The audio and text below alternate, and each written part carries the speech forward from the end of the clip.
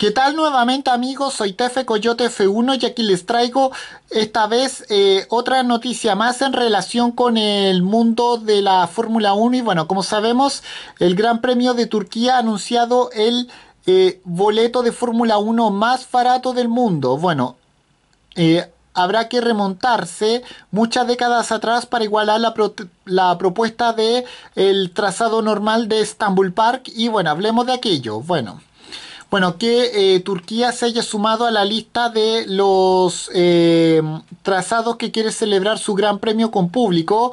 Ya lo hizo, eh, ya lo hizo el, el trazado urbano del Gran Premio Rusia Sochi o más reciente el de Portimão Portugal. No debería ser una sorpresa, sorpresa si lo es, sin embargo, los precios que el mismo promotor de la cita eh, ha puesto a las entradas. Bueno, acostumbrado a una de las entradas inaccesibles por sus altos costos, Istanbul Park anuncia un, anuncia un precio que se, se van abajo. Bueno, ¿Alguien recordaba cuando eh, las entradas de Fórmula 1 costaban solamente 500 eh, pesetas? Bueno, algo así como algo así como 3 mil pesos, bueno, nadie, nadie recuerda eso, pero es poco más de lo que pagarán los asistentes de, eh, la, del Gran Premio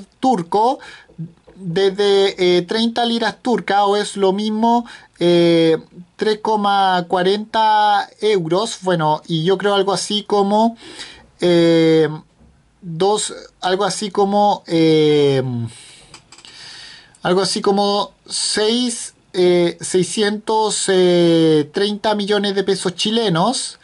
Eh, los aficionados podrán adquirir precia estas entradas para el evento. Bueno, con el con el lema o eslogan, como quieran decirle, el billete Fórmula 1 más barato del mundo. El promotor quiere honrar el 30 aniversario de su, eh, de su marca, una llamada Intercity que da nombre a, este, a esta pista, si bien su actividad se dedica al arriendo de automóviles. Bueno, Istanbul Park también pretende dar cobijo a al menos 100.000 espectadores. En su inauguración en el año 2005 se habló de una capacidad de 125 espectadores con eh, 25.000 espectadores en la, en la, tribuna principal y bueno y una hipotética eh, capacidad para que se para que suba el aforo en caso de que fuera necesario, si bien este nunca fue uno de los problemas de, del circuito normal asentado en la ciudad local de,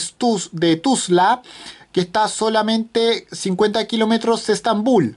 Bueno, el circuito va a dar próximamente más eh, detalles acerca de la del valor de las entradas y la capacidad de asistir al evento pudiéndose aplicar restricciones a los mismos aficionados provenientes de, de, que, de según qué zona sean. Y con esto me despido. Adiós, que me fuera. Chao.